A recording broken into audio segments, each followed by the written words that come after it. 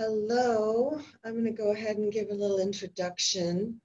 I'm Dani Bell, Dani Bellavita, formerly Danielle Gennety, um, with my corporate and legal identity. And um, I'm sitting here in a corporate uh, meeting room right now, about to have a, a lovely interview with a dear friend of mine, Zachary Towne-Smith, who I have co facilitated some community building um, facilitation of the development of skills for transformation, which both of our uh, facilitation styles come from a bit of a corporate background.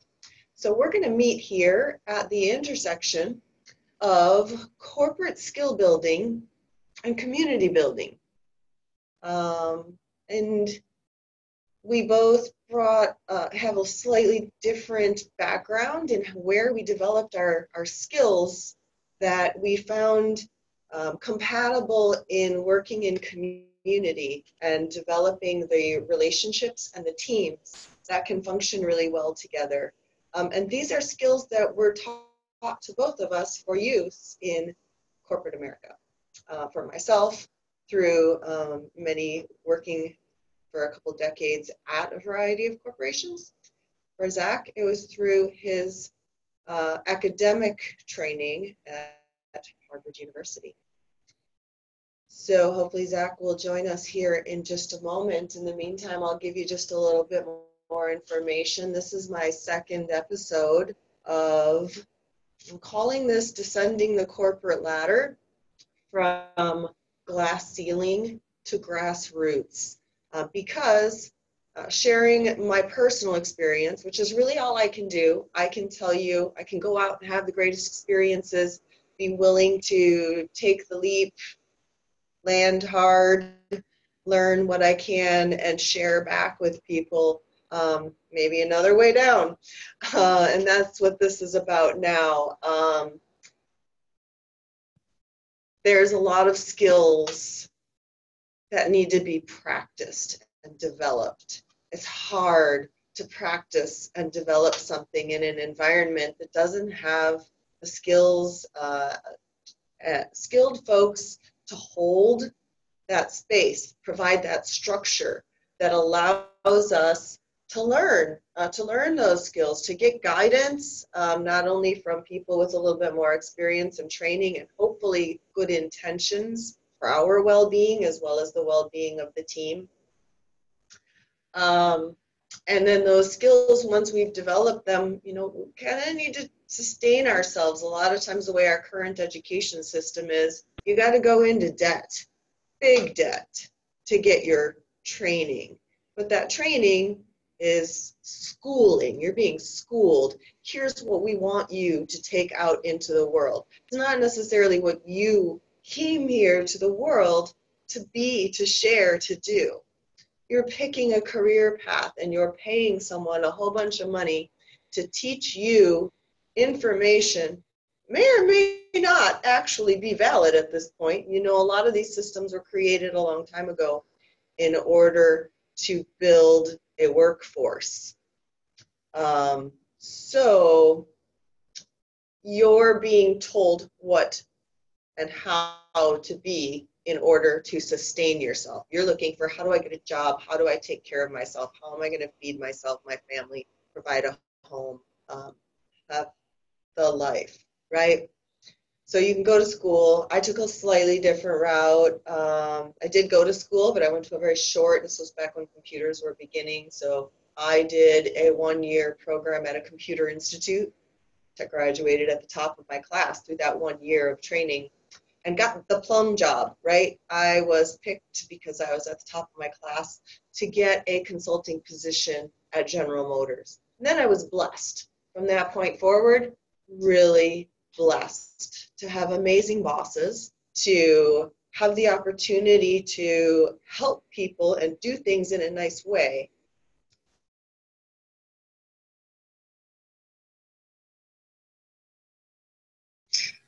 Okay, I my guest joining me here. So, well, I can see, Zach, that you're coming. I don't, there you are. Hello. Hi. Hi, Danielle. How you doing, Zach? I'm great.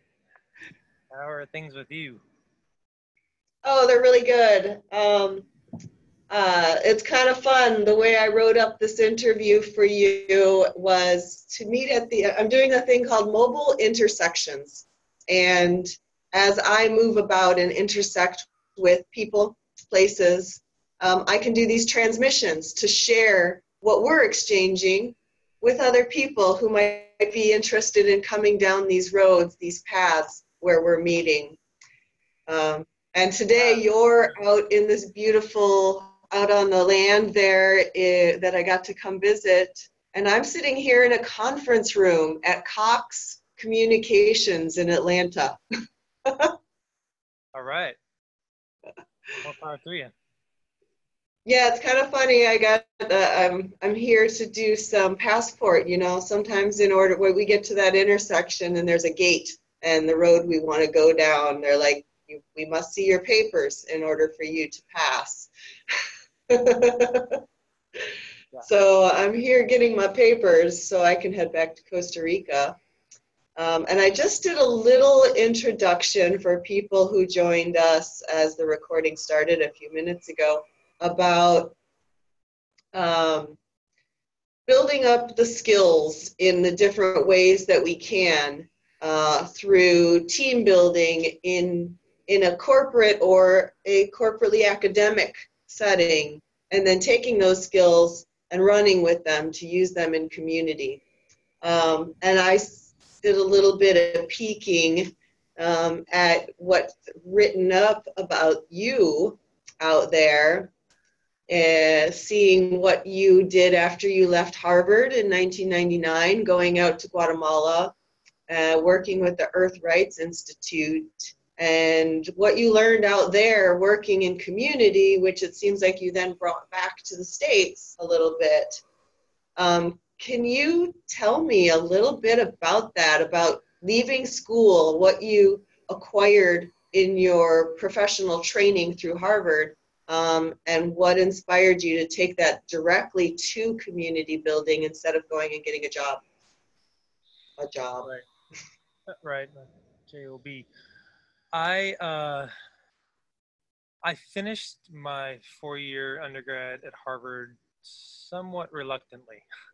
I uh, by the end of my second year, I was I was ready to be out of that setting. I was pretty well done with the the ivory tower. Um, I was doing a lot of of classes and sort of movement in my life. I had I had shifted from a biology major to an African American studies major, and I was looking at um, one class I took that was very powerful, impactful. Was a class on uh, was a graduate level seminar on uh, race, power, and politics in Brazil. Mm. Uh, and I had gone to my first capoeira class, and I was um, very aware of power differences. Um, I grew up in Philly, went to public schools, and had a really diverse, um, you know, education. Uh, and within that, definitely, I mean, you can't be alive in this country and not notice the the the the differences that that exist for different people according to ethnicity, um, culture, skin color, uh, socioeconomic status, etc. Um, mm-hmm. So that was all really present for me. And at Harvard, uh, was I was a little bit of an outsider. I, I, ended up going there because that was the place that gave me the most financial aid. Um, not only because of that, right? But but uh, I got in, and once I was in there, it was actually the cheapest place for me to go of the schools that that uh, I was accepted to. Um, mm-hmm. So that I was doing summer summer work and, and work study and, and a little bit outside of the the the, the general envelope there in, in Harvard. And it felt kind of like a glorified summer camp to me. Um, you know, mm-hmm. the social scene and the the the studying was great. I was learning things, but I was learning things I really felt like within an ivory tower. So I I went to my mom and I said, "That's it. You know, I'm just I'm gonna do like you did. I'm gonna finish college later. You know, I'm gonna just go learn some things on my own and take a while, go drive down to Brazil. And my mom very rarely offers uh, uh, directive advice. does, it's a good thing to listen. Um, she said, you know, I had a horrendous time trying to finish school after I dropped out. You know, um, it's so much easier to just go through, just do it now, do it in four years. Um, so I did. Uh, I, I, followed my mom's advice. I got to take some time abroad. I spent some time in Venezuela, uh, doing a work study there um, right before Hugo Chavez was was elected in '98. Um, fascinating experience, and I learned Spanish. and And so by the time I got to my senior year, uh, I was uh, very much aware of the the push toward corporate America um, and using the the Harvard um, what we learned to uh, make money essentially. Um, right. The the the keynote speaker at our graduation uh, was uh, the um, Greenspan, Alan Greenspan, the head of the Fed. Mm-hmm. Um, and he uh, he gave his speech. Uh, me and a few others uh, staged a bit of a walkout. Uh, went outside of the Harvard grounds onto uh, Harvard Square, and there was a, a, a, professor from the Women's Studies department who was holding an, a counter uh, talk where they encouraged us to use our education for the benefit of the world rather than for our own economic benefit.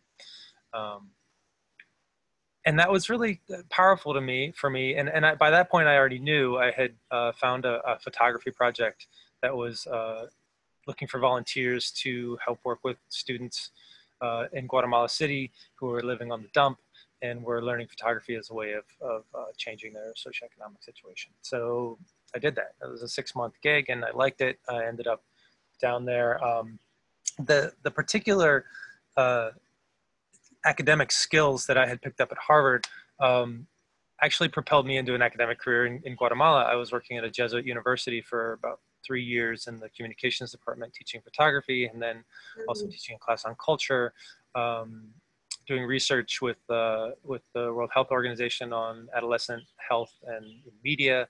Um, so it was very much uh, a key for me to get into this uh, this academic setting um, where else, where otherwise I would not have had the credentials.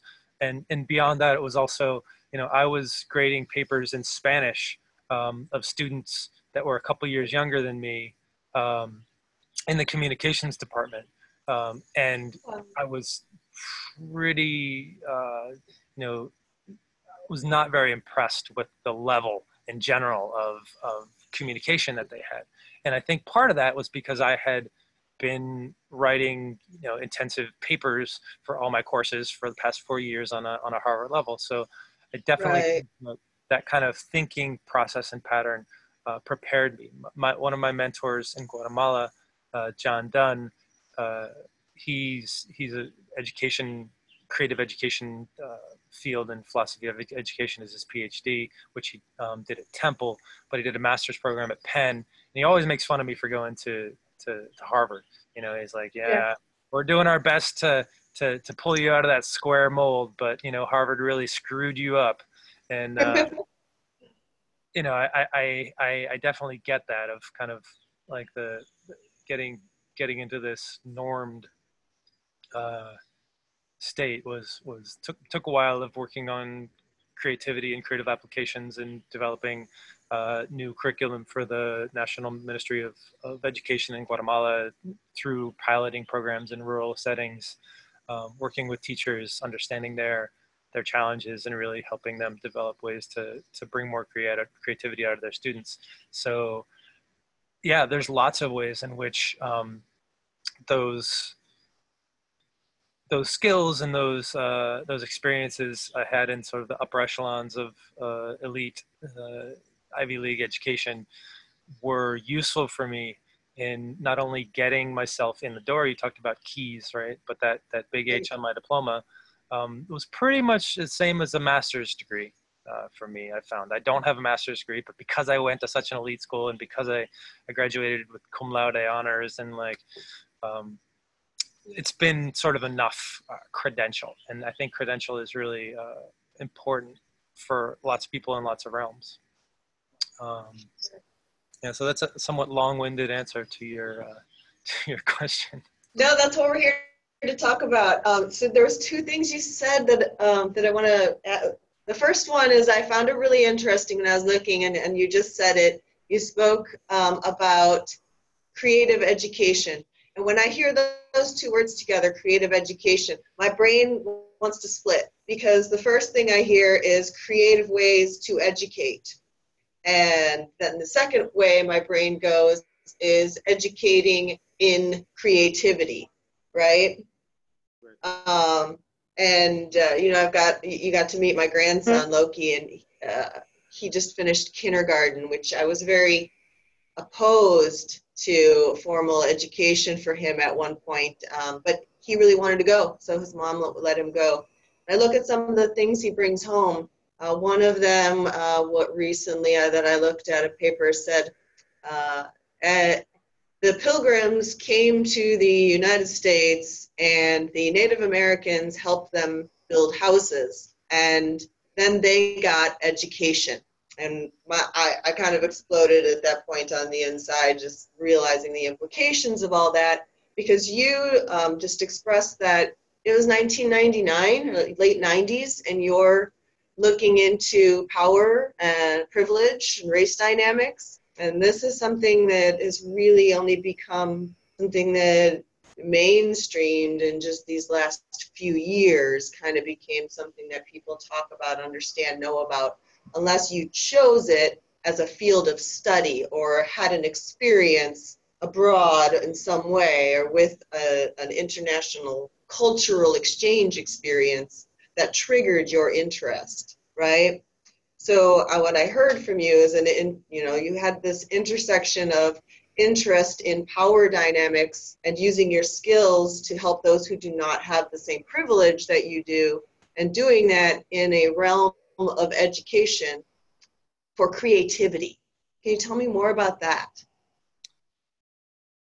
Yeah, um, the term that uh, another of my mentors, uh, Gerard Puccio, and uh, use at the at the Institute for Creativity Studies in Buffalo State is creative self efficacy, um, which is essentially believing that you have the power to be creative, that you have the power to find uh, innovative new solutions to the challenges you face in life. And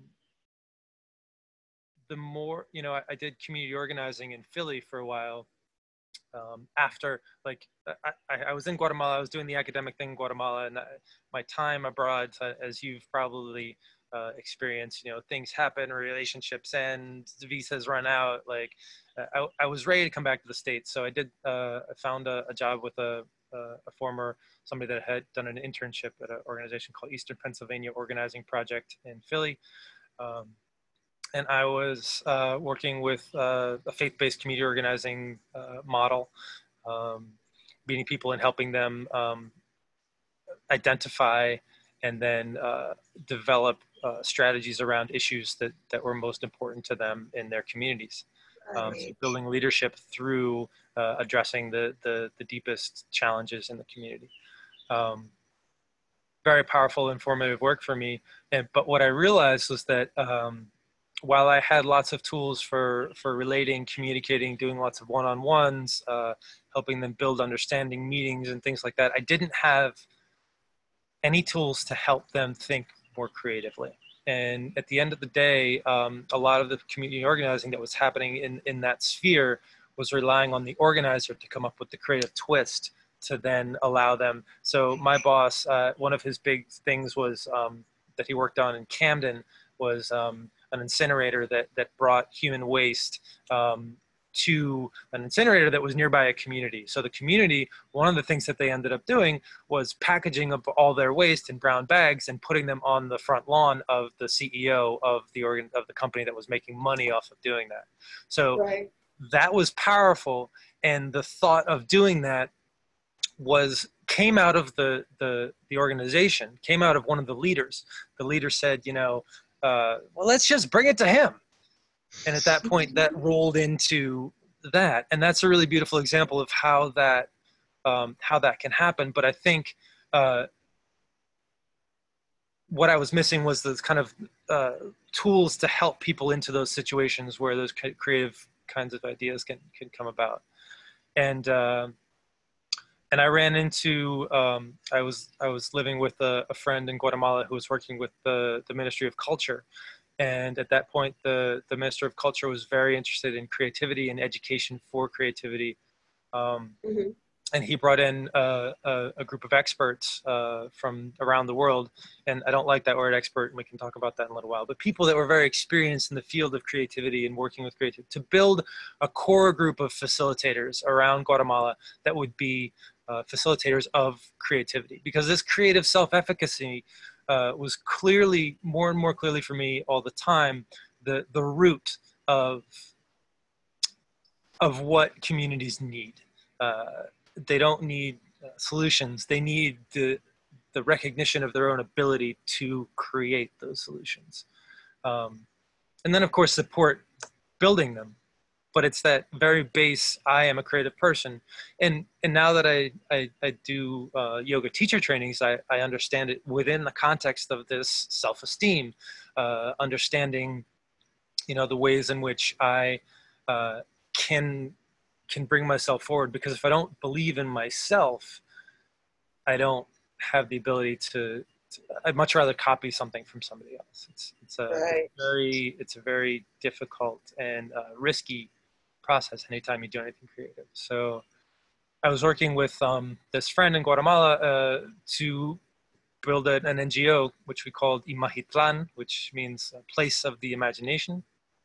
And uh, and it was to build a, a world where, where people were, were more ac- accessing their creativity in ways and not only individually but in groups as well and from there i've developed a, a collaborative design model that that helps people come together uh, to develop these these kinds of innovative solutions using processes that build the team and that develop individual self-efficacy as well as group and community self-efficacy to address the deepest challenges that they identify themselves. And that's where where things get difficult in terms of traditional NGO models, uh, because okay. NGOs work on issues. Yeah. So I'll pay you, you know, ten thousand dollars if you work on the water in this community.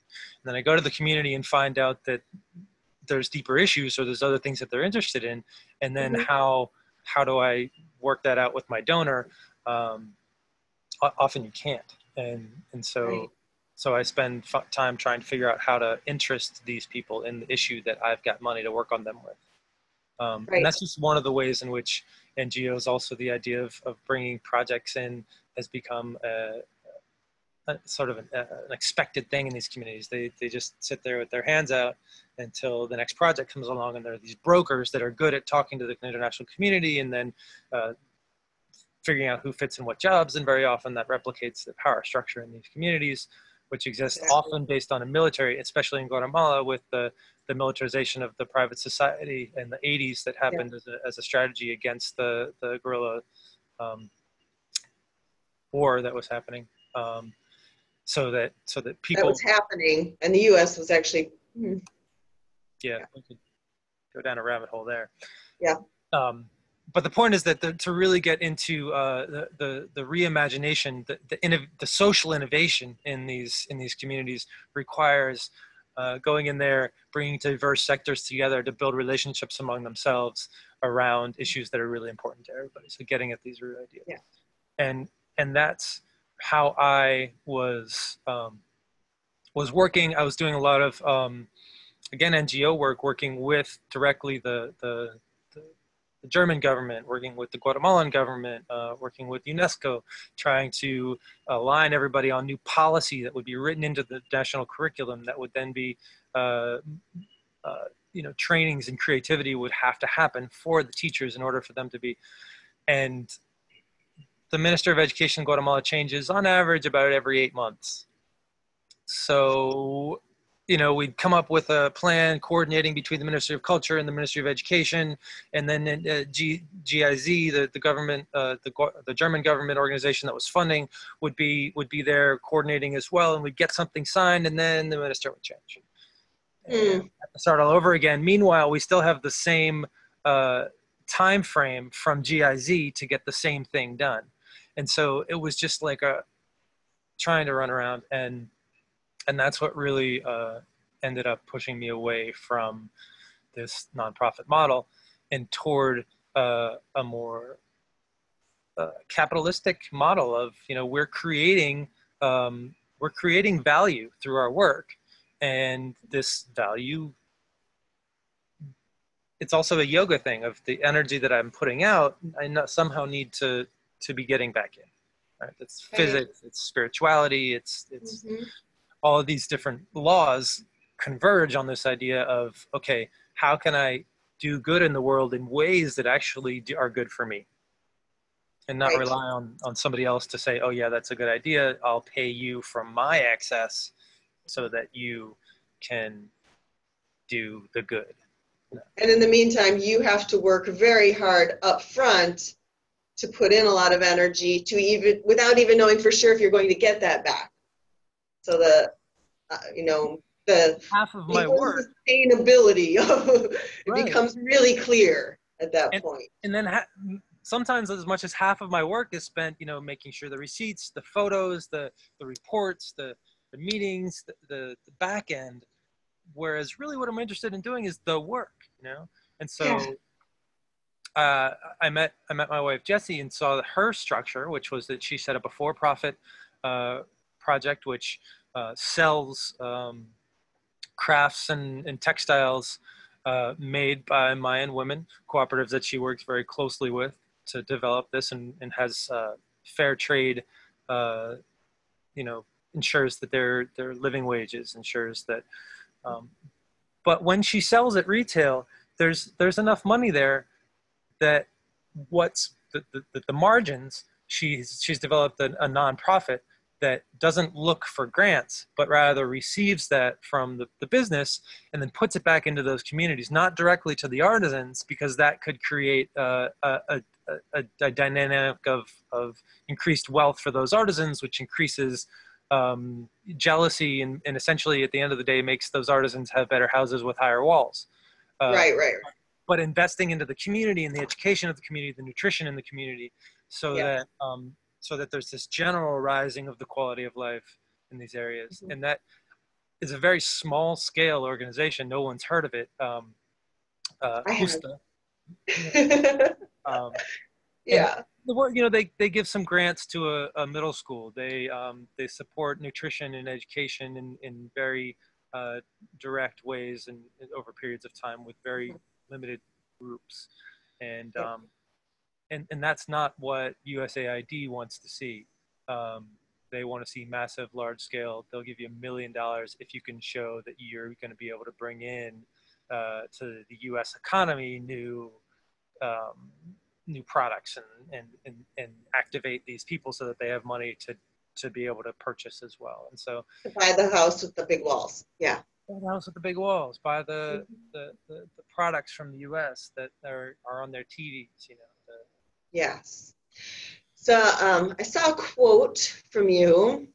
So I want to, I'm going to tell a little story here because one of the things that's really important to me is the relationships. Um, the folks who I'm choosing to speak with are people who I have experienced. You know, you and I worked for the first time together just recently, this last fe- February, producing the Metamorphosis um, event down in uh, Costa Rica.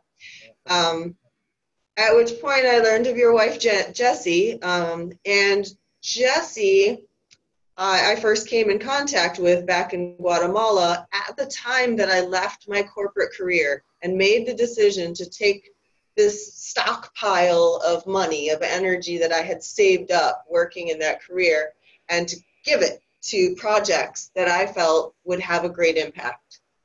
Um, and so I went to Guatemala with New Mundo where I found this amazing team of people who were demonstrating something that I, I thought I was seeing. I, I didn't expect to see this, and I want to share a quote that I found from you on your consulting website, which is that creativity is humanity's most powerful and underused tool. In spite of its infinite potential, it is what's missing in individuals and communities today. We are all steeped in educational and bureaucratic systems that reward menial compliance and deter independent thought. Now, this that statement that you have there really sums up something from my first episode where I spoke with Christina. It's in your blog on on your Caracol Consulting website. Yes. Um, and I really appreciate it because it sums up something Christina and I talked about in depth, which is that we are all built in these systems. Um, and we, at various points in our life, for you, it was right there at your graduation, having a choice to sit and listen to Alan Greenspan or go out and hear from the person in the square saying, please take your skills and do something good in the world. For me, it was up in my 26th floor building, looking down on the square of the Occupy movement, going, am, I, is that me? Am I the 1%? uh, what am I doing?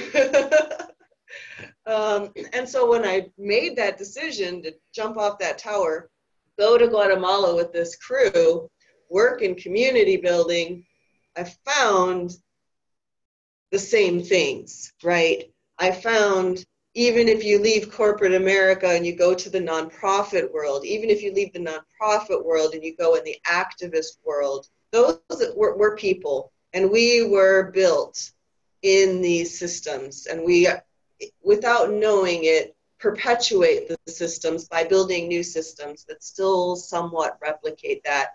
And what you've described is really a key to that.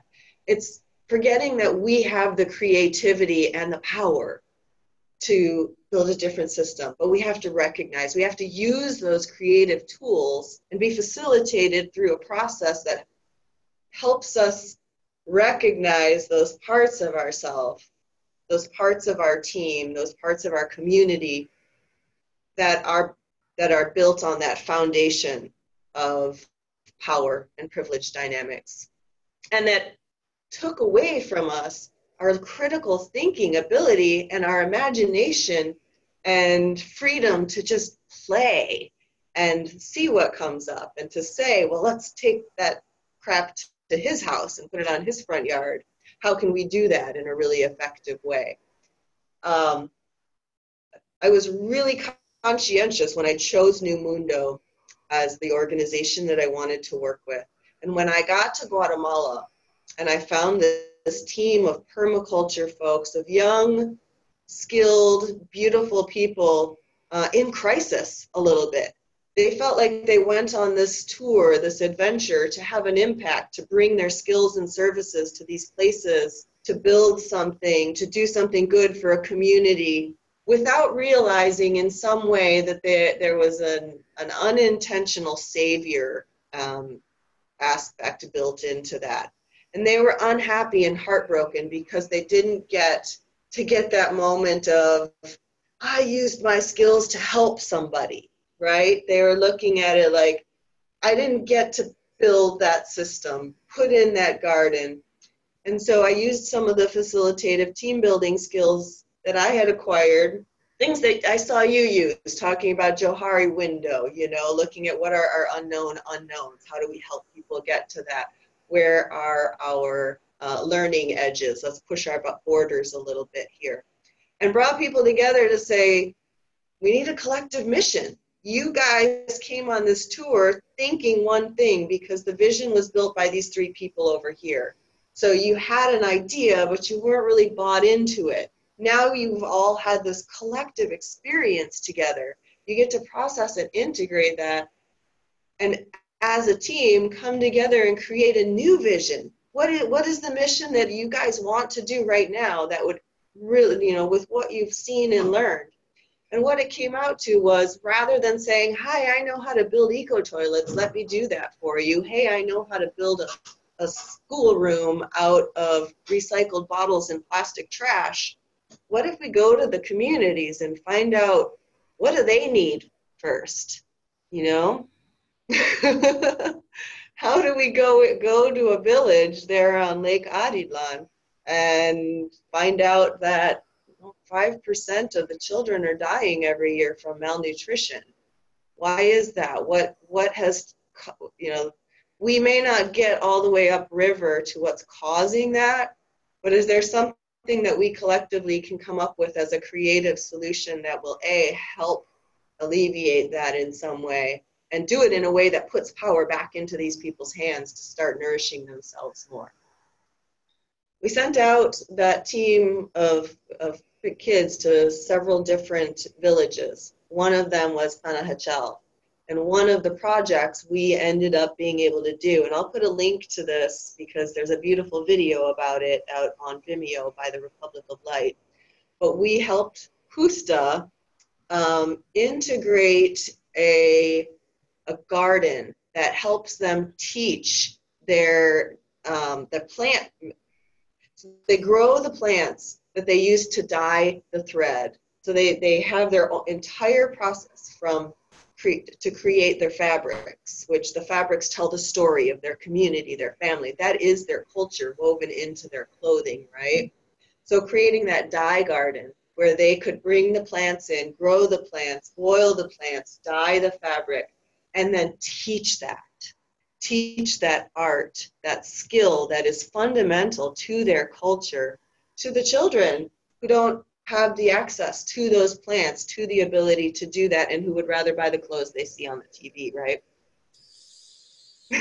Yeah. So um, it's interesting you mentioned that that project um, that's obviously one that's that's near and dear to our hearts. Jesse and I spent a lot of time with yeah. Laura and they've actually since had to move the office um, from that space. Uh, mm. Last year, um, it was a rented space in a very strategic point. The the landlord raised the rent. They had no choice but to. They're in a new space now uh, with a new area and lots of new ideas, including making a, a, tea house that engages people in different ways and then also brings them in and, and shows them. So that, it, it evolves as all things do. Um, right. Another another project that happened at that same point, uh, that NuMundo crew also was in San Marcos and built a solar dehydrator and a solar right. oven um, to attach to a, a nutrition organization. Uh, this right. nutrition organization, Konojel, uh, right. Konojel.org, K-O-N-O-J-E-L, that link too. Yep.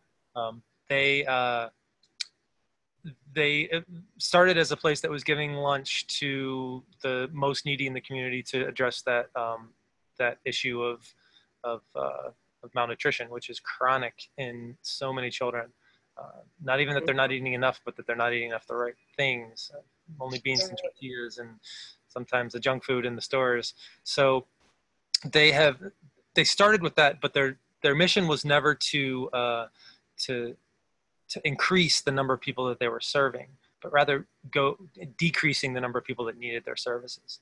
And right. um, and I did a, a, process with the with the team and the board um, that that that was this kind of collaborative design where where we looked at the situation and decided, okay, what does Konojel need? And we spent a lot of time, three days, um, intensively looking at this. And uh, what came out of it was that we needed to start a uh, a cooperative that was going to use that um, that that solar dehydrator to create products that were nutritional and that would uh, we could sell to the foreign com- community at a price that would allow us to sell it cheaper to the local community and that would sort of substitute the snacks that they were that they were currently eating and that would employ local women as their own bosses um, and that was a really beautiful thing and and then what we realized as we finished that up is looking, you know, looking around the room, how many indigenous women are in this room right now?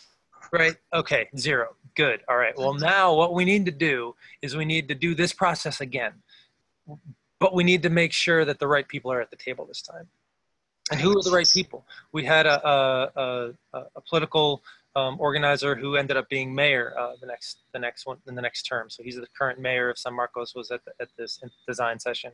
Um, there was uh, um, Isaias and his wife who are uh, who are uh, entrepreneurs and in, in the cacao business, and they're also they're also um, Mayan Ajq'ij, uh, which is the the spiritual leaders. There mm. were uh, women from the evangelical church. There were uh, women who worked in the kitchen of Konojel that are basically illiterate. There were foreigners. There was this broad diversity of people that that care about San Marcos coming together to address how can we improve the quality of life in San Marcos. And we went through this process, uh, which we developed uh, through Imahitlan, which is called uh, Holistic Action Planning for Innovation. Um, and it's, or, or, HAPI by its initials, which is a, a nice coincidence. Uh, and so, so we did a happy session with them, which is uh, essentially two months meeting for four hours every week. Um, and we used our creativity not only to support uh, them in, under, in coming up with a, a, solution, but also into understanding the interrelated nature of the challenges that they're facing in their lives. And, and that was what one of the, the nearly illiterate um, Mayan women said to me at one point was, before this, I never understood how the, the, the challenges my family are facing are interconnected with what's happening in the community. Uh, right. Alcoholism was something that me and my family were dealing with. Uh, the, the, no money, no, you know, rough education system were all things that we were dealing with. And through this process of post-it notes and and analysis and, and moving back, moving as a group through these things, they they were for the first time being listened to. Their voice was being taken into account. Their ideas were being put down on a piece of piece of paper and added to the board and then discussed later by everyone in the group and through that process they, their their self-esteem and their creative self-efficacy was increased and their also their concept of how these challenges were interrelated in their community and they were then able to to pick one of them which was uh, the challenge that they chose was that there are no uh, economic opportunities for youth and and, and women in that are that are stable that are productive and that are that are dignified in in this community because they realized that that by by solving that challenge, they'd be able to get at some of the other challenges like alcoholism, like like uh, right. uh, education, and so so it's one thing to go into a community and say, okay, what do you guys need, and and the the, the standard resistance to that from government from NGOs is they're just going to say we need a soccer field because that's what right. they always say.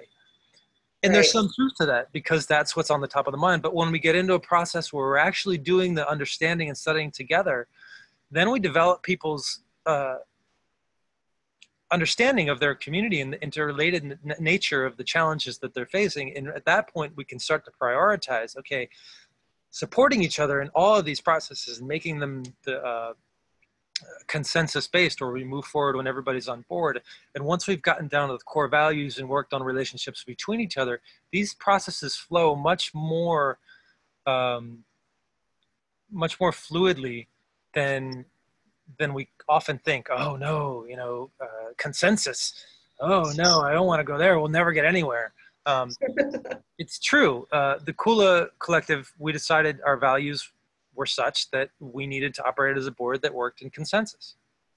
Hmm. Do we take longer to do things? Yes, for sure. Some things. Other things, because we're together and all invested, flow in ways that, that no other business would be able to do. So, and, and it's happening along line with our values. So I really like what you said about um, coming together with this group and saying, okay, these three people created this vision. How can we create something that's inclusive and that's going to motivate everyone?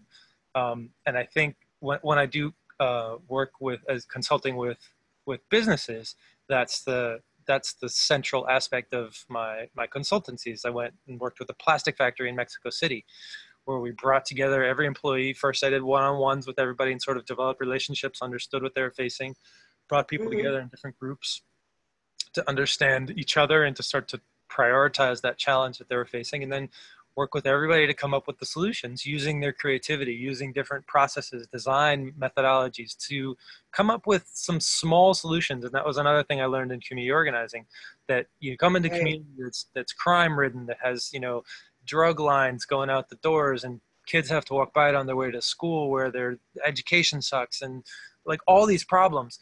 The first thing to do in that community is to put a stop sign in Why? Yeah. Because then that's going to make it a little bit safer, but most of all, it's going to teach them they're they're going to be able to learn the their their own power. They're going to be able to interface with the, the, the, city. They're going to be able to learn how to research. Okay, if we want this, this is who we talk to. This is how we talk to them.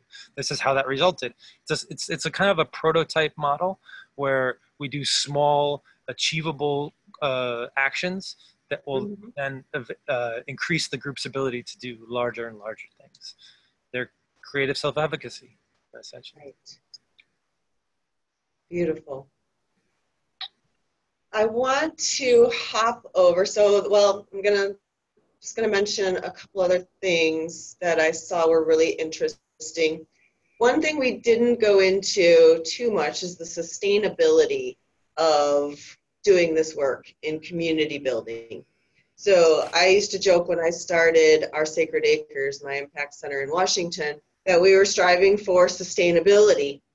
And what a dreadful thing to put upon myself by saying I'm striving towards sustainability. I'm basically like announcing we are not sustainable right now. But that was true. We weren't sustainable at that point. I was putting in more than I was getting out. Um, and in a lot of, a lot of times, um, we, if you choose not to take the route of I'm going to go get the money, then we often go a little too far on that sometimes and compromise our ability to really take good care of ourselves in order to have a powerful impact on the world. And then sometimes we can swing a little bit on that extreme and go to the other side of the pendulum of I can't take care of anything unless I'm taking care of myself. So I'm just going to do my meditating and inward work and believe that the world's going to change because I'm doing that. Um, I don't just think there's a healthy balance that needs to be found between the two of those. I think it's moving. I don't, you know, I think we go through cycles of what we need in our lives. What is our comfort level? Um, you have a, um, a TED Talk, and I was really excited to see it. And I clicked on it, and then I was like, here I am married to a Costa Rican Spanish speaker, and Zach's talking in Spanish, and I don't know what he's saying.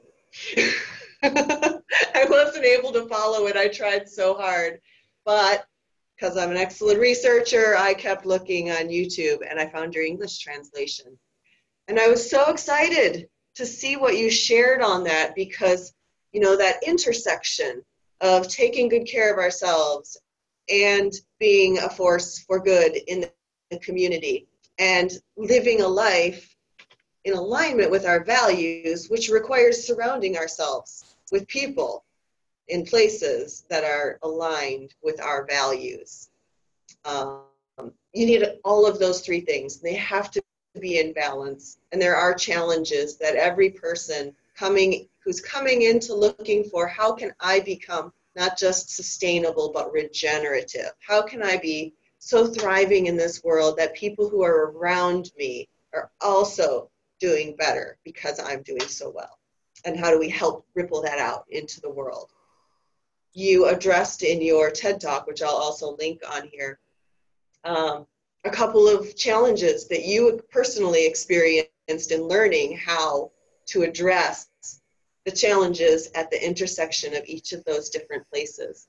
Um, and I really appreciated that because I really believe well, that's why I'm doing these conversations now because I think um, it's time to harvest the wisdom of the experiences that so many people who have been working to change how we live together, how we work together towards a more verdant way of being in harmony with nature. Um, people can get really discouraged because they run into the challenges at one of those intersections and may just turn around and run and say, you know what, community is not for me. I'm just going to go back, get my simple paycheck, have my own house, not have to worry about who does the dishes. um, so you, at the end of your um, your TED talk, you you give a couple of questions, and I really appreciated those questions. Um, and I'll share this online. We have uh, we have a little bit of time left to have a conversation. Um, so business in a good way. that was the title of your TED Talk. I, um, I want to touch on that and hear from you on that. And then I want to hear how that circles back to where you are right now. Um, what a beautiful experience I had there at Seven Springs, um, your retreat center there in Tennessee at the base of the Smoky Mountains, to meet the family. Um, I just really felt that coming full circle, almost like the hero's journey aspect, where we go out into the world uh, with in, in our quest um, and we gather things and then we come home we bring it back to our families um, and you uh, your family is expanding and you're creating a beautiful thing there in your community with the skills and the relationships you've developed um, tell me what what's what's up what where are you at right now and what what's going forward so there's a there's a there's a there was a key moment in my in my life. I was working for Earth Rights Institute. Um, we were collaborating with a beautiful woman um, whose whose name is uh, Marta, um, uh, and she uh, she's from El Salvador, uh, and she's very big in the UN, uh, women's rights, um, and she was collaborating with us uh, and also indigenous rights. She was collaborating with us on some of our projects, and um, after a while you know working together, she brought me aside. Um, little little white-haired woman says, uh, "Saquito, you know." you've been in Guatemala a long time. You've probably learned a lot of things while you're here. Probably learned that we don't need your help. Right? Mm we are really good at organizing ourselves. Uh, the problem, papito, is that whenever we get organized, gringos come down and cut the heads off of our leaders. So go home to your people. She was very excited that I was going to be in the in the southeast, you know, the, the Bible Belt, like this center of of, of, of, of need for for the kind of uh, creative self-efficacy that we're talking about, the kind of ability to, to introspect and understand and, and align the, this idea of, of vision with, with understanding, you know, that, that the way that I see divinity really matches other people much more than it di- diverges. Um, those kinds of things are just so the community aspect of it, so necessary, particularly in this area of the country of the United States. She says, go home and organize there, like do your work there. Um, she was very instrumental in ending the war in El Salvador because she came to the United States and organized people to march on Washington, convince Reagan to stop funding the war in El Salvador. And um, I think as, as a citizen of this country, and particularly as a white Harvard educated male, um, I had a lot of I had a lot of white guilt uh, uh, for a while. Um, you know, I remember going to Alex, my Puerto Rican friend, in, in, in middle school, going to his community in North Philly, uh, to play at his house and like jumping on the old burnt out mattresses next to his house and like that was you know sort of normal for for that but then like recognizing how different it was for him to come to my definitely not rich but a middle class community um, still in the city um, such diversity existed such uh, di- difference in in and so i think I, w- I walked for a while with this kind of burden the, the white man's burden right of like how can I get out of um, the space of guilt and, and I, I, as you were saying, I, I, I,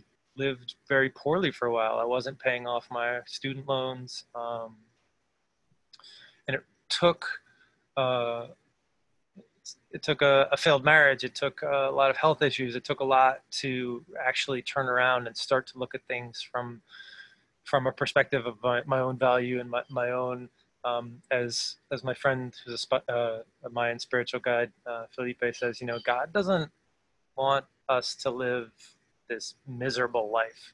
Um, wants us to be happy. Wants us to have nice things. She wants us to to to to be in good community. Um, this is this is how we express ourselves in the world, and particularly as somebody that's that's a consultant for creativity, you know, it's the same kind of thing of how am I creating my own life? And if I'm not doing it to the to, to what I want it to be, how can I come and talk to you about that? So so I started doing more consulting and uh, I, it's interesting right now talking about intersections. I'm here at uh, our uh, retreat center, Seven Springs, uh, Seven Springs Retreats, in outside Maryville, Tennessee. Um, that was created uh, by my wife Jessie, her parents Herman and Mary, and her cousins who were living here at the time and supporting. And now it's a, a different couple that's living here and supporting. But we did a collaborative design process together, and I had known my future my at that point they were future in-laws. I had known them for you know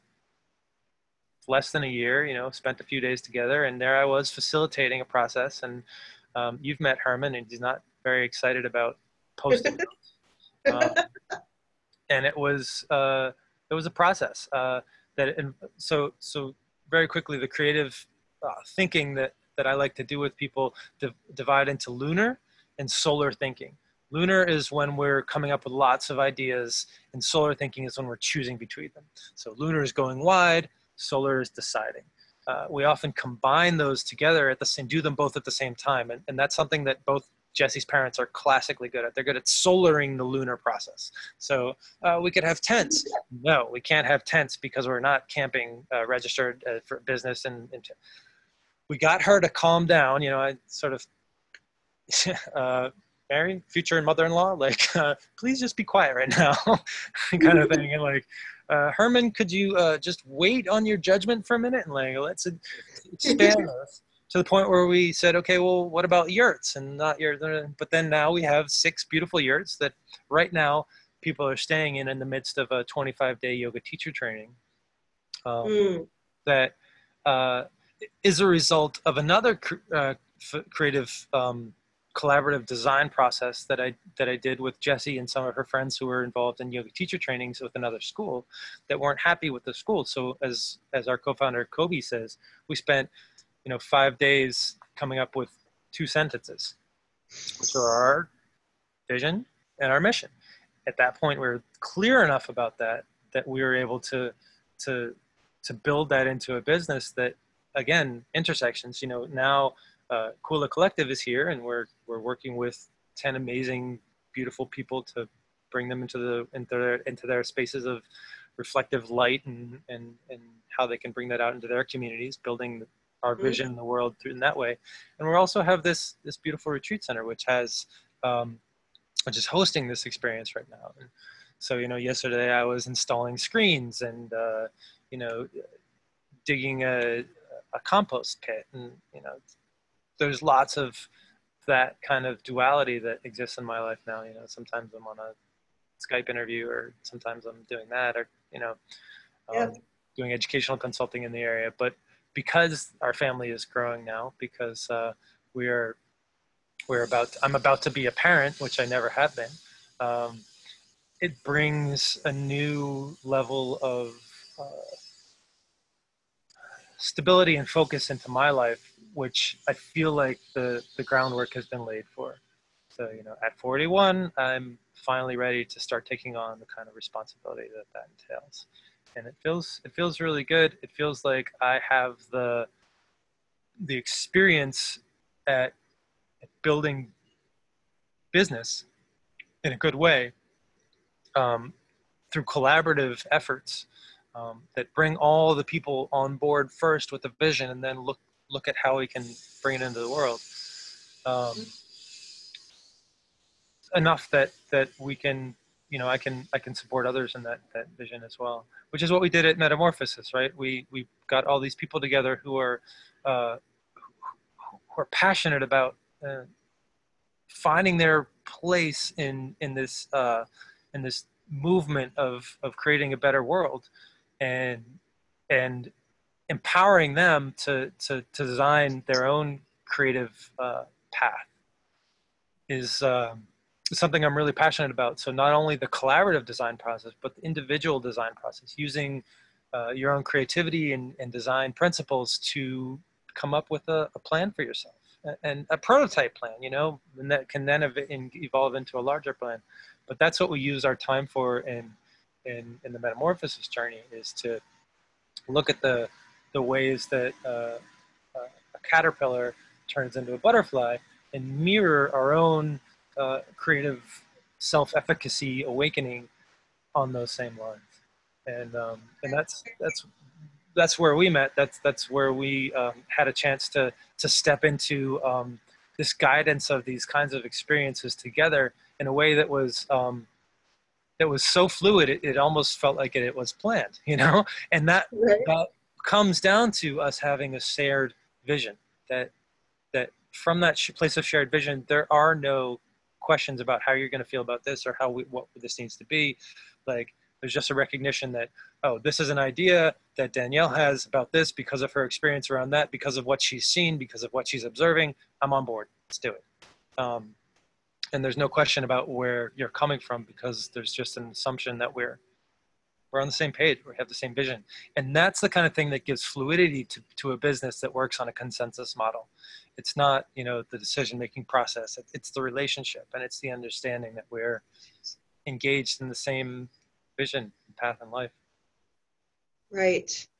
I really like how you put that find finding uh, folks who are coming there uh, have the opportunity to find their place in the movement because we are all in a movement and that's part of this shared vision and the shared values is we see where we are right now. And we have this vision and this dream um, in our imagination of how the world can be. And many of us are sharing that vision already. Uh, i have a lot of theories on why that is but the fact is it's true. And we define we develop these shared values that we can operate under. And when we find people who share that vision and are demonstrating consistent actions in alignment with the values that will create that together. It really empowers us to trust one another which is really the big underlying foundation of that. Um, you can have an instant relationship with someone when you are quickly able to determine that we share the same values, we share an intention, and we we want to work towards the same thing. So we can trust one another to make decisions towards that.